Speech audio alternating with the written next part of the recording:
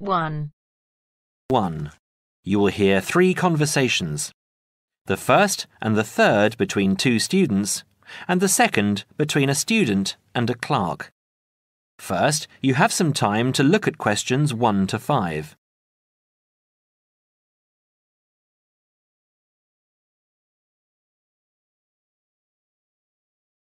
Now we shall begin. You should answer the questions as you listen, because you will not hear the recording a second time. Listen carefully and answer questions 1 to 5. Hi, it's Mike, isn't it? Yes, and you're Phoebe. Phoebe, right. Where are you headed? I'm looking for the main hall. So am I. Are you going there to register for next year? Yes, I was told to go to administrations and fill in an application form. That's what I'm about to do. I went to information and they told me it was at the end of this corridor. Then we have to turn left and immediately right. That should lead us to the exit, where opposite we should find the entrance to ground level main hall. It's a big old red building. From there, we need to go to the first level and then follow the signs. Apparently, it's the second office opposite the foyer. It would be pretty hard to miss. That sounds easy. It shouldn't be too hard to find. Well, since we're both heading in that direction, let's go together. Hopefully, it won't take too long. I haven't had anything to eat and I'm starving. Me too. Well, how about I go to the canteen and get us something while you make your way to the main hall? I'm sure there's going to be quite a wait. There always is. I can meet you there. Sounds like a good plan. What do you want me to get you? Um, how about a chicken and salad roll and a drink? Okay. What if they don't have a chicken and salad roll? Anything similar like ham and salad or just plain salad and cheese. Oh, and don't forget the drink. I feel so dehydrated. No problem. What type of drink? I don't know. Um, How about a Coke? no, nothing like that. Something healthier. An orange juice? They're usually full of sugar unless you get it freshly squeezed. Water? Yes, that's perfect. Here, take two pounds. That should cover it. If it's more, I'll give it to you when you get back. I only have a 20, and you know that they get cranky if you give them large notes. Okay. See you in five minutes. Before you hear the rest of the conversation, you have some time to look at questions 6 to 10.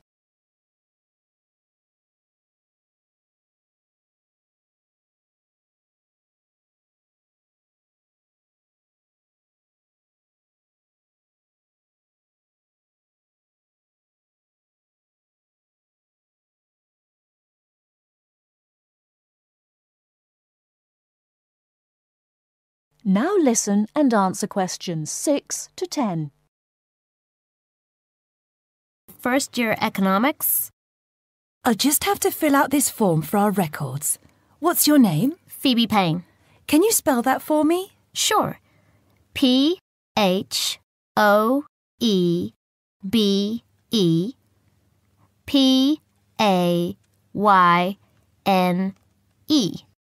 Your address? 6 Wainwright Avenue. That's W A I N R I G H T Nottingham. Nottingham. And your phone number? It's not connected yet. I've just moved in. Okay.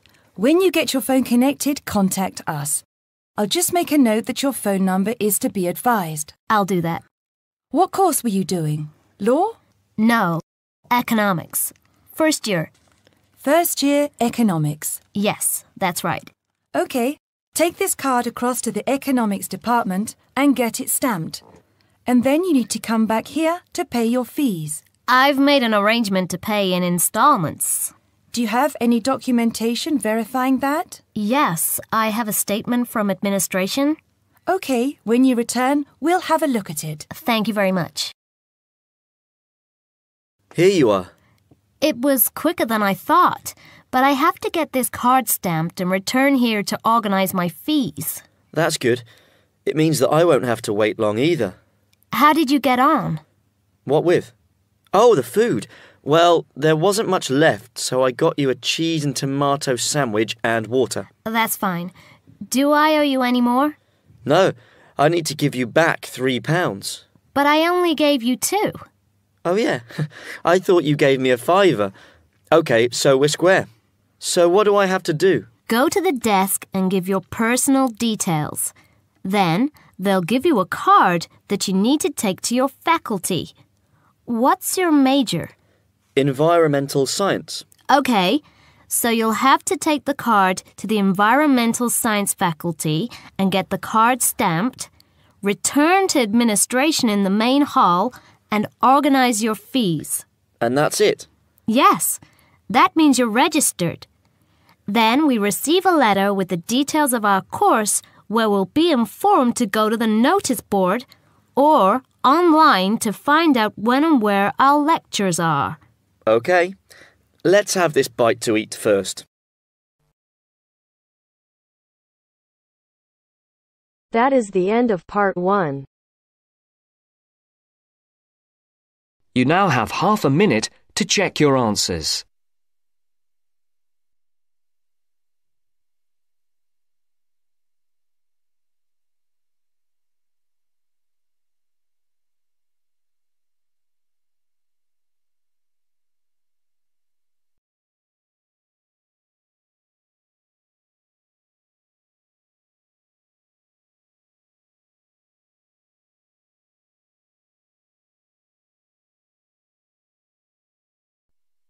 Now turns to part two. Part 2. 2. You are going to hear a talk given by an international student. First, you have some time to look at questions 11 to 16.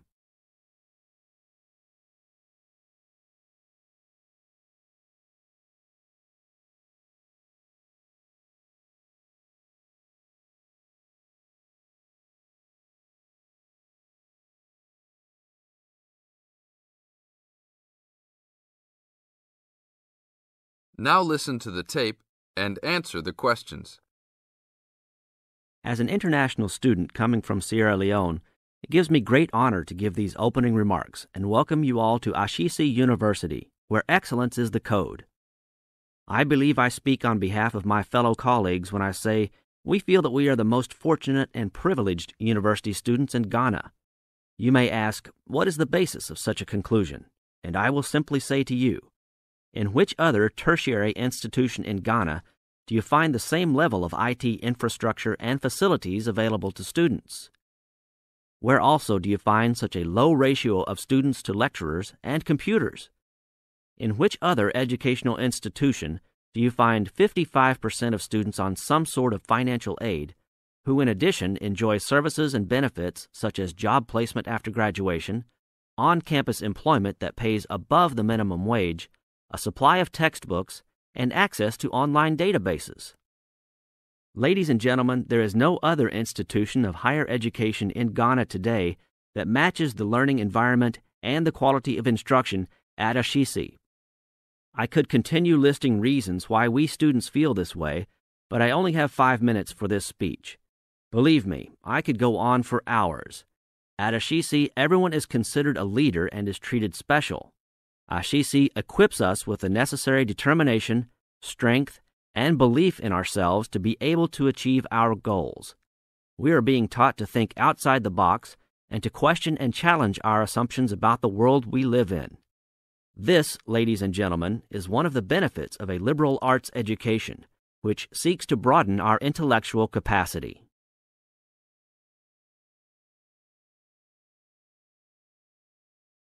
Now look at questions 17 to 20.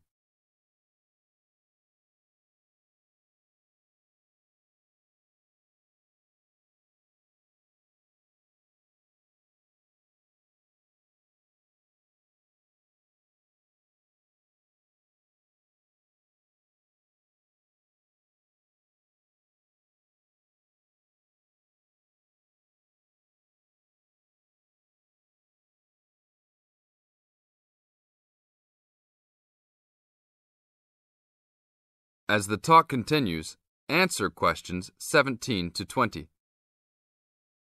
At Ashesi, we are also exposed to real life situations and learn how to deal with them through a practical and vigorous academic program, as well as various seminars in which prominent leaders in their professions are invited as guests to interact and share their knowledge and experiences. Some people, even some of you in this audience, may believe that tuition at Ashesi is too high, but I say to you that the students here are unanimous in saying it is worth it. Not because we all come from well to do families, but because when it comes to one's education, you need to aim at getting the best from the right place. One's education defines who you are and what your perception of life and society will become. Ashesi offers us a top quality education which meets high international standards. This is due to the strong linkages the school has established with three of the very best schools in the United States, namely Swarthmore College, which is ranked as the best liberal arts school in the U.S., UC Berkeley, and the University of Washington. In addition, Ashesi has recruited an excellent faculty consisting of lecturers from various countries, including Ghana, the UK, and the United States.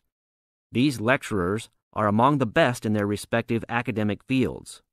I believe this is the school's greatest asset a strong and knowledgeable team dedicated to achieving successful results from their students and who also love their job. I would like to end with a personal message. My fellow students, because we are among the most privileged in our society, we should take responsibility for our own destinies, make our parents proud, and create a legacy for those that follow us and Africa as a whole. We must give back to our society after completing school and achieving our goals in life, which I believe we all can if we properly utilize our time and take advantage of all that is offered here at Ashesi. That is the end of part two. You now have half a minute to check your answers.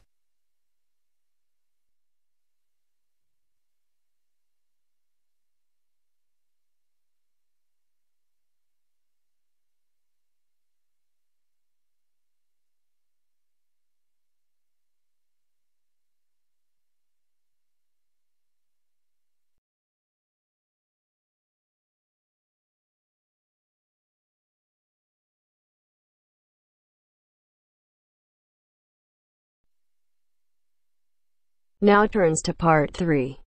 Part 3. You'll hear a discussion between two students and their teacher on a planned charity event. First, you have some time to look at questions 21 to 25.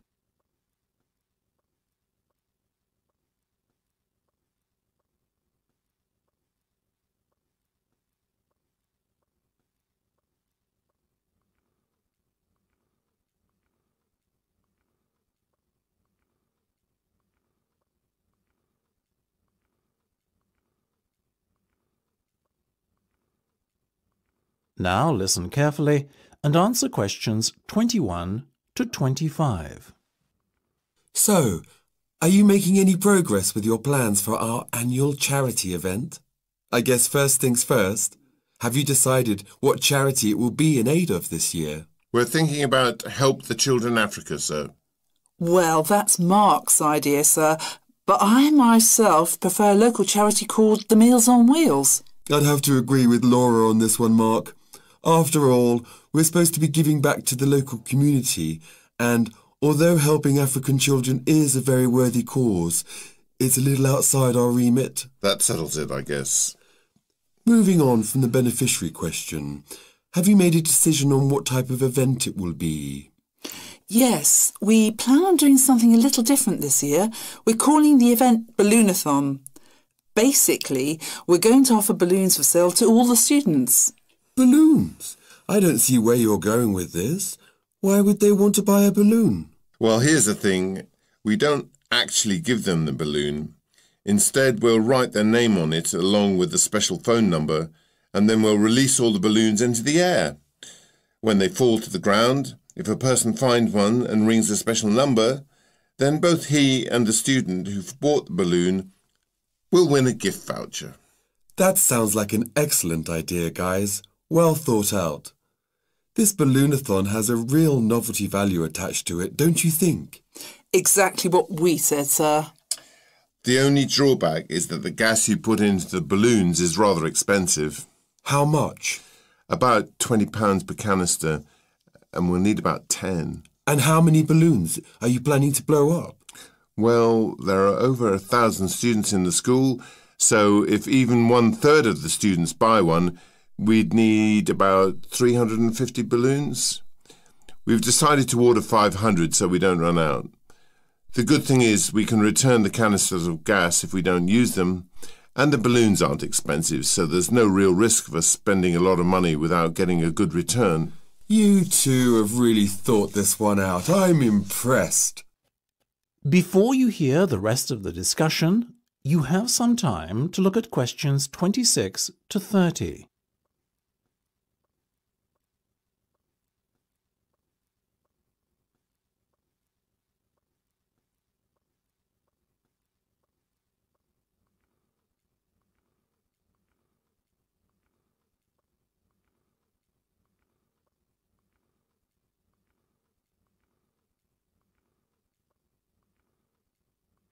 Now listen and answer questions 26 to 30.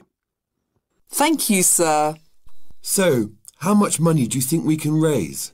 Well, each balloon costs about 1p, and when it's filled with gas, it's going to cost us about 50 pence.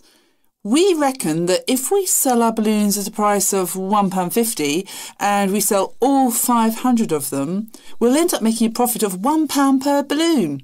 So that's £500 in total. That's fantastic. And it gets better, sir. We've secured a sponsor for our event who's going to give us a thousand pounds. How did you find a sponsor? The balloon company we approached about buying the balloons asked us if we'd be interested in letting them sponsor us too. What's in it for them? They're going to print their logo on every balloon. I think you've done a good deal there. Thank you, sir. So, do we have your approval to confirm our order? Absolutely. But you know, I think we can sell more balloons if we set our minds to it. So why not order double the amount? A thousand instead of five hundred. We're going to need more than ten canisters of gas then. Double the amount, presumably. Correct. OK, let's go for it. Let's make this year's charity event our most successful ever. That is the end of part three. You now have half a minute to check your answers.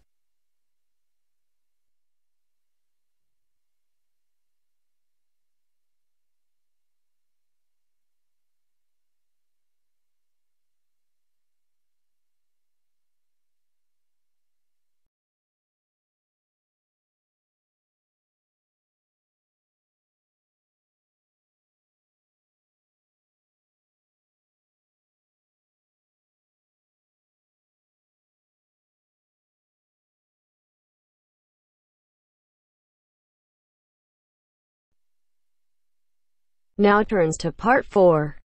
Part 4. You are going to hear a lecturer giving a talk on a type of fundraising for business called crowdfunding. First, you have some time to look at questions 31 to 40.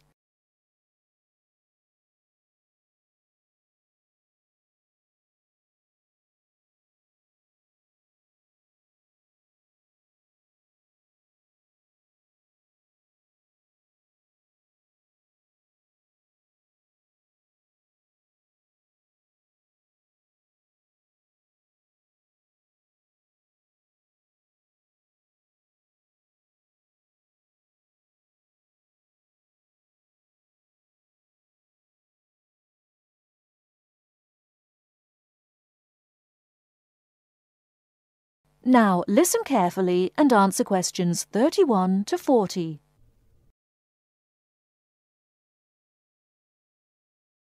Good morning, everyone. Today we're continuing our look at funding opportunities for small startup businesses. The emergence of social media has given companies the ability to connect with fans and potential customers directly. On the back of the growth in social media, a model of raising finance has emerged known as crowdfunding. This revolutionary way of raising finance began with micro lending in the 90s.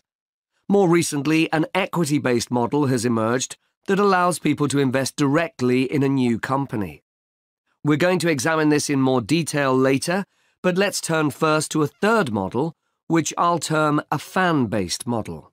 With this model of crowdfunding, individuals are encouraged to give an amount of money to support the launch of a project or initiative without the promise of any financial return. Instead, there's a reward for donating. This contrasts with the micro-lending model, which would require a return on investment, and the equity-based scheme, which may offer shares. Crowdfunding portals or websites allow the business concerned to present the initiative along with the financial target required. There's a fixed time limit for fundraising, and if the target amount is reached, all donations are paid to the company or individual.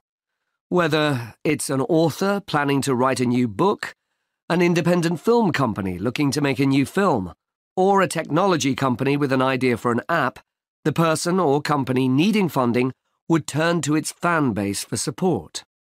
This is managed through one of the many crowdfunding online portals that have emerged.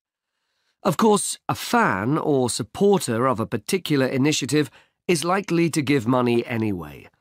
But donation based crowdfunding will often make donating even more attractive by offering a rewards based incentive scheme. Let's take a film company, for example, that needs funding for a new film. For a small set donation, the donor might be offered a free ticket to the premiere or a DVD of the film. A larger set donation might be rewarded by the chance to attend a launch event when the film goes live. Those people who make bigger donations could even be offered the chance to meet the cast of the film, whilst the highest level donation could see the person's name mentioned in the film credits. For companies that already have a significant fan base, crowdfunding offers a fantastic opportunity to raise money quickly from a large number of people each of whom donates just a small amount of money. Compare this to the time and effort that would be needed to sell your idea to investors or your bank manager, particularly in an age when raising finance can be difficult. The company may also have links with partner companies or organizations that run fundraising events. In this case, you can significantly increase participation by working with these organizations to promote your crowdfunding project. Another significant advantage is that you can reach out to your fan base for feedback on the project while it's being developed, thus making the final product more appealing. Crowdfunding enables you to raise awareness of the product at an early stage, thus increasing the potential for sales. With so many people behind you, it can also act as a great incentive to get the best possible product out on time and on budget. However, there are disadvantages to bear in mind. The model can be described as all or nothing. If you don't reach the monetary target required in the agreed time, all promises of donations are cancelled and no money is paid, leaving you back at square one. Should this happen, or still worse, you receive the funding but are unable to come up with the product, not only will your fans end up disappointed, but the portal will record the fact that you failed to reach your target or that the initiative failed. Fulfilling all the pledges that you've made to people can also be very time consuming. For example, remembering to send out copies of books or free cinema tickets can sometimes be forgotten in the excitement and frenzy of launching your product. People sometimes forget to factor in the cost of rewards when calculating profit margins. But these can be significant. And finally, if you have a small fan base, for example, you're a new company or have a small social media footprint, raising awareness of your initiative will be challenging. These drawbacks aside, donation based crowdfunding is a wonderful opportunity for individuals or small startups to raise funds for that exciting new project whilst reaching out and connecting to the people who are most likely to support and promote your work for you. That is the end of part 4. You now have half a minute to check your answers.